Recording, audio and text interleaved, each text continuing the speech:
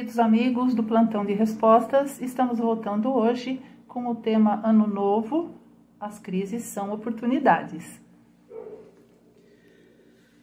Gisela, por que, que o Ano Novo é um marco importante no tempo? Sem falar da questão da astronomia, né, da, de marcar o tempo, um ano, é, existe uma questão legal aí que é muito importante para a nossa sociedade, porque o tempo, essa marcação de um ano, ele, esse tempo regula, organiza a nossa sociedade. Nós somos organizados também em parte em função disso. Mas e, e poderia, eles poderíamos começar o ano novo em qualquer época do ano, em qualquer dia, como outros povos. O, o nosso calendário não é único no, no, no planeta.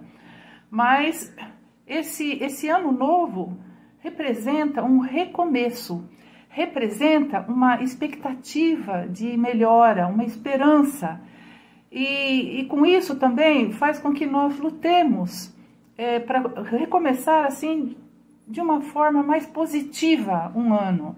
Lógico que temos o passado, o ano passado, não é? Que às vezes nos traz é, lembranças tristes, mas quando a gente fala de ano novo, sempre inspira uma esperança de coisas boas e coisas melhores.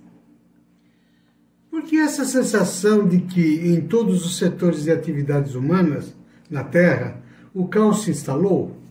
É assim, a gente tem essa sensação, a gente olha, nossa, que bagunça, nunca esteve tão ruim, é um caos daqui, o um caos dali. Na verdade, nós estamos vivendo um surto, né? um surto evolutivo, como a doutrina espírita sempre fala, principalmente na obra do, do, do Emmanuel. É, esse surto significa uma, uma, uma decadência moral muito grande, explícita, porque uh, a moralidade, as coisas que a gente vê hoje, sempre existiram, mas agora ficou explícito, as pessoas não têm mais vergonha de ser sem vergonha, não têm mais vergonha de fazer o mal, de ofender as pessoas, de ser mal educada. Então é um surto. Agora, quando a gente pensa que está tudo muito ruim, é, eu, eu, vou pedir licença para vocês é, para falar de, um, de uma mensagem que Dr. Bittencourt Sampaio, que foi um pioneiro do Espiritismo, viveu no final do século. Ele foi, ele foi contemporâneo do Dr. Bezerra de Menezes, né, no século XIX. Ele, ele, ele trabalhou na doutrina espírita, uma pessoa importante. Ele trouxe uma mensagem através da, da psicografia do Chico Xavier a respeito de crises. Não é? ele, ele o, o, tema é, está no livro é, Instruções Psicofônicas. É, o tema, a, a, mensagem se chama O Cristo está no Leme. Vocês querem ver? Ele diz: olha, comparem 1955, quando foi recebida essa, essa mensagem, quase 70 anos depois, o que, que, o que, que existe ainda aqui? Querem ver? é, ele, diz, ele tece considerações a respeito da mediunidade, não é? E depois ele fala o seguinte: não ignorais que a civilização de hoje é um grande barco sob a tempestade, mas enquanto mastros tombam oscilantes e estalam vigas mestres aos gritos da equipagem desarvorada, ante a metralha que incendeia a noite moral do mundo, Cristo está no leme então, nós temos a sensação de que é o caos, mas existe uma organização, existe todo um cuidado da espiritualidade superior e a coisa está sob controle. O que Jesus quis dizer com a cada dia basta o seu mal? É, essa frase, ela, ela está no Evangelho de Mateus, no capítulo 6, 6 é, e foi discutida por Kardec no livro Evangelho segundo o Espiritismo, capítulo 25, é, Buscai e achareis. O item é olhai ou observai os pássaros do céu.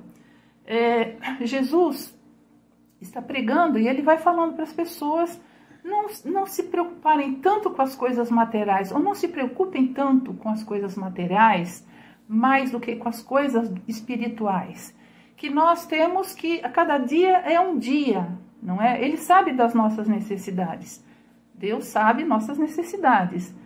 Mas nós não, não nos contentamos em ter somente o necessário, nós somos insaciáveis em geral. Né? Existem pessoas que, que realmente vivem uma vida mais, mais equilibrada, mais uh, ponderada. Mas nós não, não nos satisfazemos somente com. Nós queremos supérfluo também, né? E bastante supérfluo. Então ele coloca isso, que nós não deveríamos ter essa necessidade, que nós deveríamos viver sem nos preocuparmos com o dia do amanhã, mais do que com as coisas espirituais. Ele não diz para nós abolirmos as questões materiais, porque nós somos de corpo material, precisamos manter esse corpo e tudo que, que depende disso e depende para isso. Então, quando ele fala a cada dia basta o seu, o seu mal, significa o seguinte: a gente tem tantos problemas, tantos problemas, é, todos nós temos. Dificilmente uma pessoa, é, só aquela que sabe lidar com o problema, acha que não tem problema, né? Mas é, a gente, para lidarmos com esse problema que nós temos hoje, não vamos a, a, a, ainda incorporar os problemas que virão amanhã. Então, vamos viver o dia de cada dia, não é? Cada um no seu tempo, para nós não sermos pessoas frustradas, ansiosas, infelizes. É possível a paz coexistir com orgulho, preconceitos, violências e individualismos? Olha, é, é impossível. É impossível, porque todas essas, essas virtudes é, que dependem do orgulho, são filhas do orgulho, é, nós temos falado da inveja, do ciúme, da, da, de todos, tudo, tudo, não é? é ostentação, tudo isso é incompatível com a paz. É incompatível. Então, nós, para nós sermos pessoas realmente tranquilas, nós precisamos destruir em nós esse, esse sentimento terrível que é a maior chaga da humanidade, que é o orgulho. Precisamos destruir isso para nós realmente sermos, vivermos uma vida melhor. Qual o papel das crises no progresso moral da humanidade? Olha, é, quando a gente observa a história da humanidade, a gente é, constata que após as crises, e, e, sempre sucederam muitas crises, desde que o homem é homem. No início eram crises, eh, o homem ainda não tinha consciência de eram as crises climáticas, eram aquela, aquelas, os desastres naturais. Depois que o homem foi evoluindo, vieram outras crises sociais, não é? crises eh, de, de, de guerras, por exemplo. Depois que acontecem esses, essas, essas crises naturais ou não, provocadas pelo homem, é, vem um período, é, sobrevém um período quase sempre de progresso da humanidade. Lá no livro dos Espíritos, o Kardec discute isso com os espíritos, que para o progresso implica nisso, né? Quando a, a, sociedade está acomodada ou quando não vai bem, não é? A gente estava falando de que a gente constata que a sociedade está no caos né? nessa nessa situação. É preciso que venha uma crise que abale as estruturas, porque é preciso. A gente, se a gente não aprende por amor, a gente vai aprender pela dor, não é? Pelo menos parte da, do nosso aprendizado se deve a essas experiências, não é? Lá na Gênese, nós, existe um capítulo na, na Gênese do, da, da, codificação, existe um capítulo que fala são chegados os tempos, não é? E lá é, vários espíritos colocam as suas, as suas as suas frases, os seus, os seus pensamentos. E um deles coloca, fala sobre as crises não é, que a sociedade vive, viverá e viveu.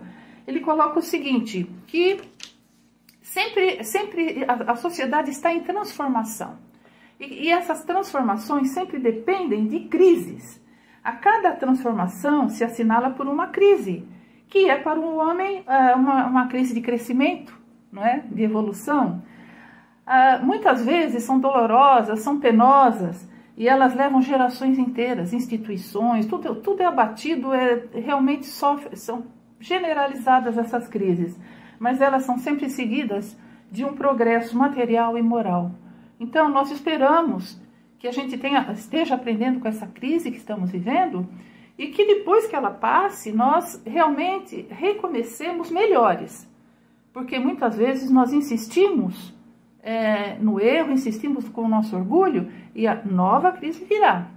É, isso é, é certo. Nós estamos encerrando aqui.